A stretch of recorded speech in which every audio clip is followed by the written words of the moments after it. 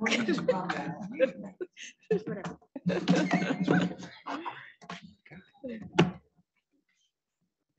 said that it perfectly.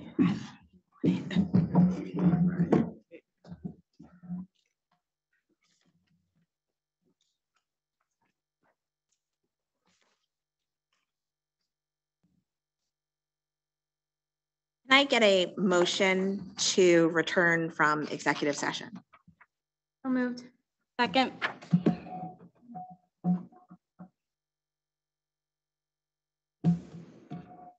Online voting is open.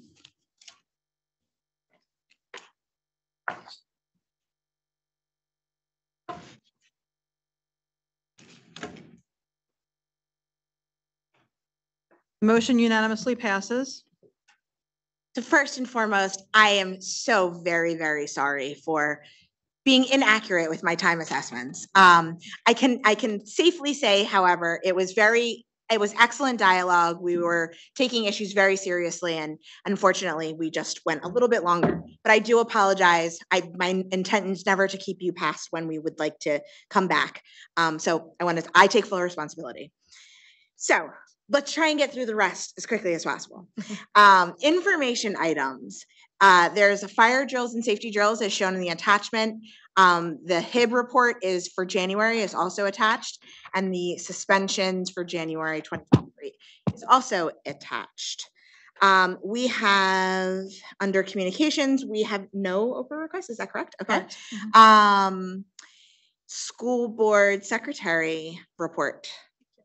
Well, January is School Board Recognition Month, so we would like to read, or I would like to read a resolution for the board.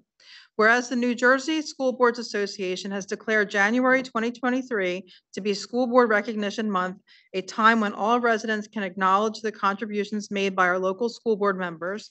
And whereas the Voorhees Township Board of Education is one of, one- of 581 local school boards in New Jersey, which sets policies and oversees operations for public school districts. And whereas the Voorhees Township Board of Education embraces the goal of high-quality education for all New Jersey public school students. And whereas New Jersey's local school boards help determine the educational goals for approximately 1.4 million children in pre, pre-K through 12th grade. And whereas New Jersey's 5,000 local school board members who receive no remuneration for their services act as advocates for public school students as they work with administrators, teachers, and parents for the betterment of public education. And whereas school boards strive to provide the resources necessary to meet the needs of all students, including those with special needs, and whereas boards of education provide accountability to the public, they communicate the needs of the school district to the public, and they convey to school administrators the public's expectations for the schools. And whereas New Jersey can take pride in its schools, which rank among the nation's best in key achievement indicators, such as the National Assessment of Educational Progress Scores and the preparation for college through advanced placement offerings and SAT assessments. Now therefore, be it resolved that the Voorhees Township Board of Education does hereby recognize the services of local school board, school board members throughout New Jersey as we join communities statewide in observing January 2023 as School Board Recognition Month. And be it further resolved that the Voorhees Township Board of Education urges all New Jersey citizens to work with their local boards of education and public school staffs towards the, towards the advancement of our children's education. Uh, we would like to thank our school board members, and tonight they're receiving a certificate of our appreciation, as well as, I'm just gonna hold yours up, this very nice Yeti mug or glass or cup, I guess you call it, and it has Voorhees, uh, Voorhees Township Public Schools on it. So thank you very much for your service.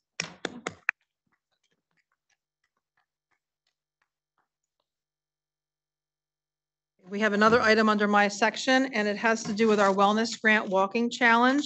We do uh, several challenges a year, and there are rewards that go out, and this is paid for by a grant. And uh, the winners this time for the walking challenge, there's six weekly challenge winners that each receive $50 for a prize. Week one was Kimberly Stratton, week two Elaine Banch, week three Caitlin Greenwood, week four Trish Lancaster, Week five, Victoria Prendergast. Week six, Wendy Koenig. And the top stepper of this challenge was Elaine Banch, and she wins a $100 prize. So Nice. thank you, everyone, for your participation and wellness. Thank you. Awesome. Superintendent report? Okay, thank you very much. Good evening, everyone. Um, Unfortunately, this is the second consecutive board meeting that I must greet you um, with some very sad news. Um, We lost another member of our family. On Sunday, January 15th, Gordon Zwicker, a special education teacher at Osage Elementary School, passed away. The news was incredibly devastating to the Osage family and to the district as a whole.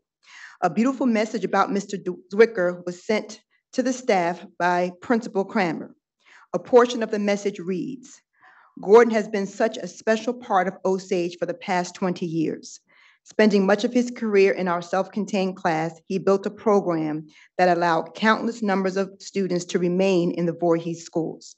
His larger-than-life personality gave us so many laughs and fond memories over the years.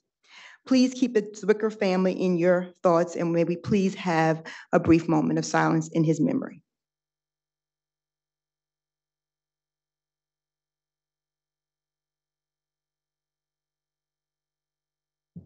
Thank you very much. And if you can hear me very clearly, you'll know that we do have our sound system. So I want to say thank you to Mr. Taylor and to Mr. Mathis for all their hard work in bringing the sound system. And my friend who asked for the sound system, I was hoping she would be here today, but we're hoping next time she comes, she'll be pleased that we have this system. So thank you very much for all of your hard work. There's a quote by Jana Stanfield that reads, I cannot do all the good that the world needs, but the world needs all the good that I can do. This quote rings true in regard to the volunteer service of our school board members. So to all our board members, I thank you. And your service is a testament to your commitment to making a difference, to fostering improvement, and to lighting the path to innovation and forward thinking. Thank you for answering the call to become a board member and giving of yourself to improve the educational experiences of our children. Thank you for your volunteer work. We truly appreciate each and every one of you. On tonight's agenda, we're asking for our board to consider approving a world language consultant. And the plan is for the consultant to work with the district's world language committee to develop a plan for world language K-5 for the 23-24 school year. Our plan will include option one, which would be the hiring of Spanish certified teachers. However, there is a shortage of Spanish certified teachers. So with this in mind, we'll be developing an option two. So option one will be hiring a teacher. Option two will be researching several world language programs um, for our district. The superintendent's forum has been rescheduled for this Thursday, the 26th at 6:30 in this room. I'm asking all parents to come out and engage in a dialogue with me about how we can continue to move our district forward. Start Strong assessments results were sent home to parents of students in grades four to eight. Dr. Young will present the results at the February Board of Education meeting.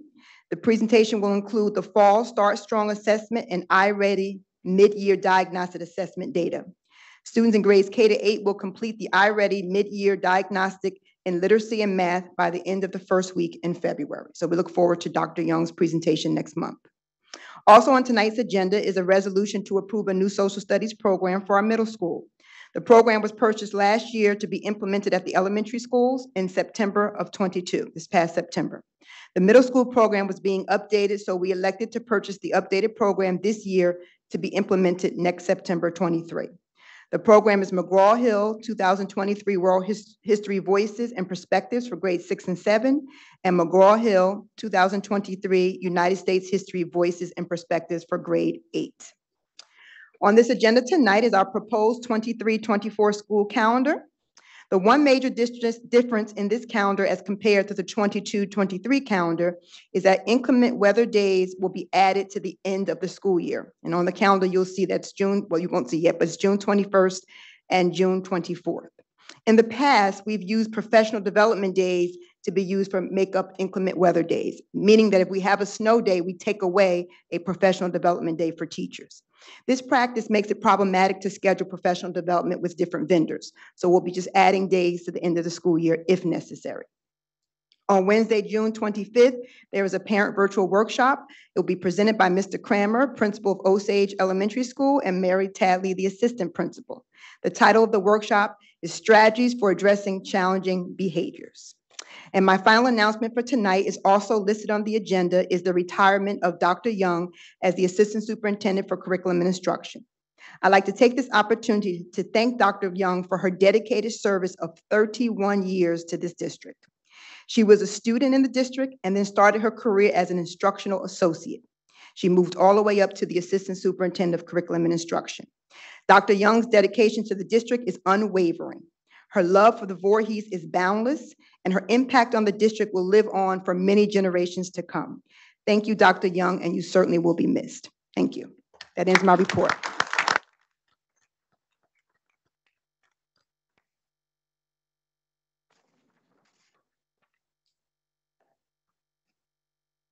Um, for policy, policy committee, uh, report, uh, Dr. Levy, can you provide an update? Sure. Good evening, everyone. Um, the policy committee met this evening at six thirty. Uh, we reviewed two policies to be abolished. Uh, we had quite a few policies for, uh, first reading. And we are also discussing a revision to the, uh, board meeting agendas and how those will look. And those will be on for first reading, um, at our next meeting. Thank you. Thank you very much. Audience participation, anyone wishing to address the board, please approach the back table or the side table um, and write your name and address on the login sheet. If you are attending via Zoom, please use the raise your hand feature to be acknowledged.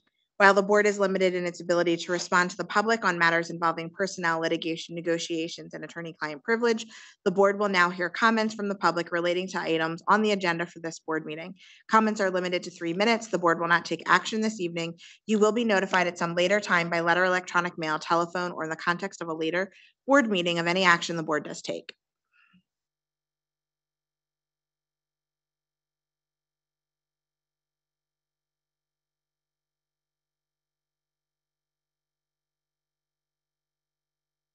Being no comments, um, comments from the board. I personally want to thank Dr. Young. Um, I have had the privilege and honor to work alongside you for, oh gosh, I guess five years now. um, and it has been a wonderful experience. I think you've taught us all a lot. Um, you're always available to help and you answer my emails and explain things to me very seamlessly and um, quickly. Uh, I I know that it is very difficult to commit to 31 years in one place um, and and say goodbye, but you are always welcome. You always have a home here, and we are eternally grateful for your service. So thank you so much.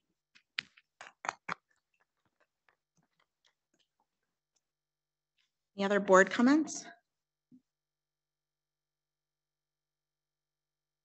Transportation. Can I get a motion to approve all of the items under transportation? So moved. Second. Online voting is open.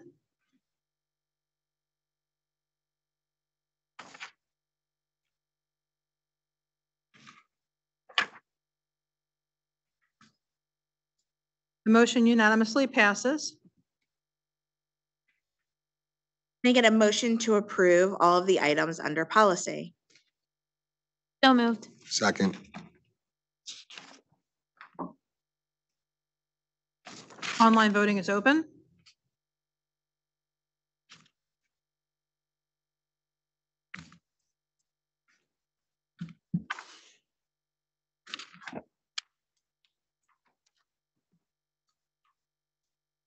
Motion unanimously passes.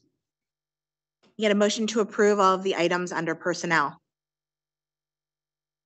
So moved. Second.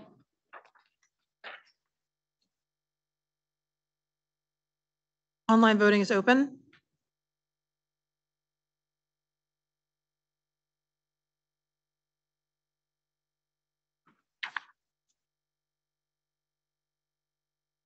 Motion unanimously passes. There are no items under deferred action. Can I get a motion to approve all of the items under new business? So moved. Second.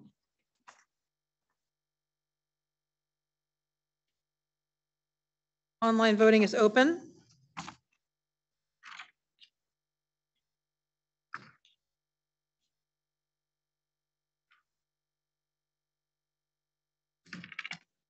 Motion unanimously passes. Our next regularly scheduled meeting will take place at the Administration Building on February twenty-second, twenty twenty-three at seven PM. Audience participation, anyone wishing to address the board, please approach the side table and write your name and address on the login sheet. If you are attending via Zoom, please use the raise your hand feature to be acknowledged. While the board is limited in its ability to respond to the public on matters involving personnel litigation negotiations and attorney-client privilege, the board will now hear comments from the public. Comments are limited to three minutes. The board will not take action this evening. You will be notified at some later time by letter, electronic mail, telephone, or in the context of a later board meeting of any action the board does take.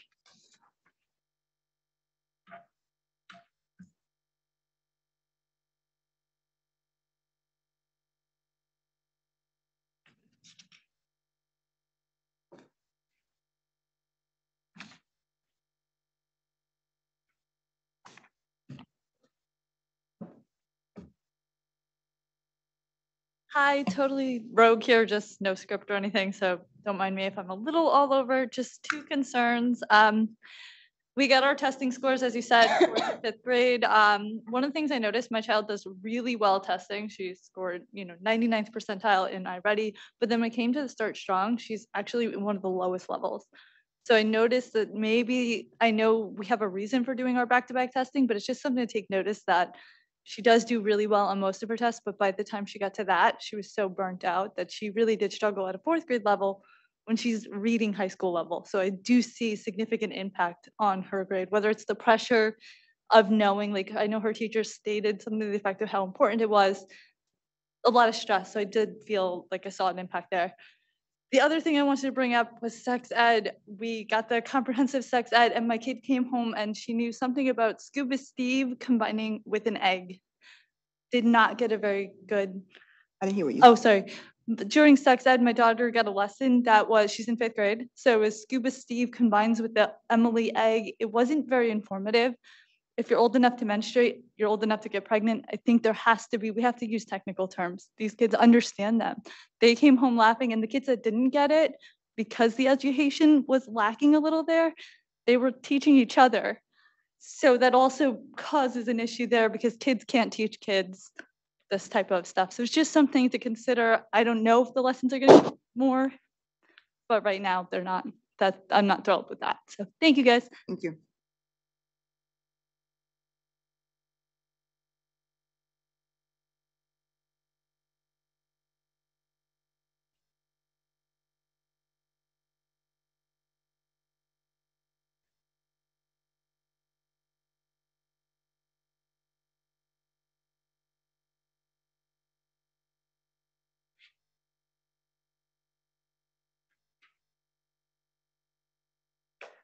Good evening. Um, Happy Board of Education Month.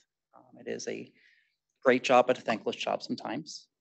Um, As a uh, coworker of Gordon Zwicker, we appreciate the support the district gave. It was a really tough time for the students, the staff, parents, um, and really, uh, we felt very supported, and the kids still have the resource they need.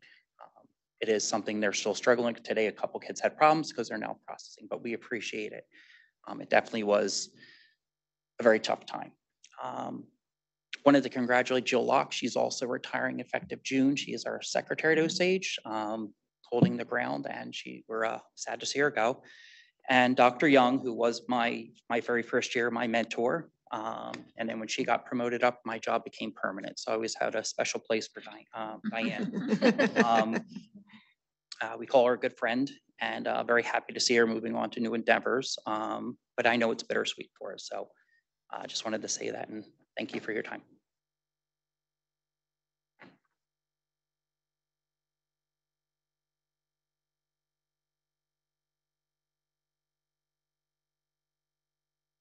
Any additional comments from the board?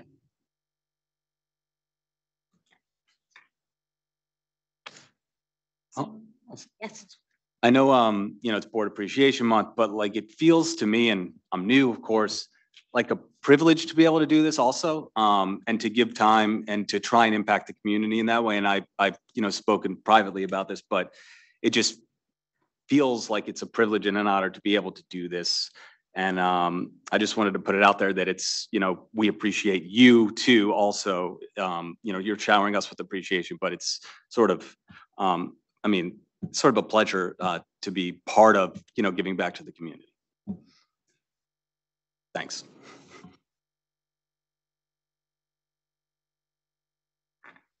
Moving on to finance.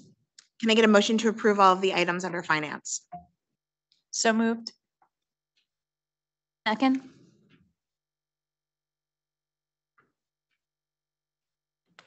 Online voting is up, is open.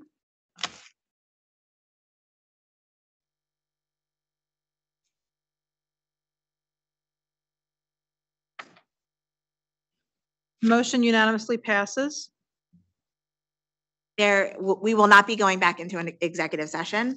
Um, Can I get a motion to adjourn the meeting? So moved. Second. All in favor? Aye. Aye. Aye. Thank you, everyone, for your time. Have a wonderful night and go Eagles. Long day. Yeah, I think so. I want to.